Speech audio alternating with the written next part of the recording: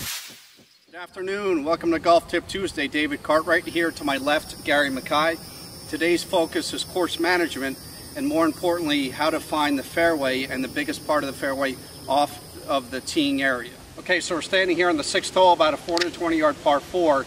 Trouble starts at 240 yards, ends about 285 yards. So in this case, even though we're going to self, leave ourselves a little bit longer into the hole, I don't want Gary hitting it more than 240 yards because that's the widest part of the fairway or landing area. Gary, what club are you going to hit to go no more than 240 yards? I'll probably hit maybe a four wood, just bunt it into the fairway. Gary's landing area now is about 35 to 40 yards wide instead of with a driver, which would be anywhere from 20 to 25 yards wide.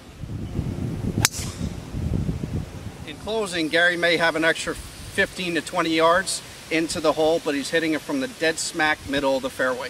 See you next week. Thanks for joining us.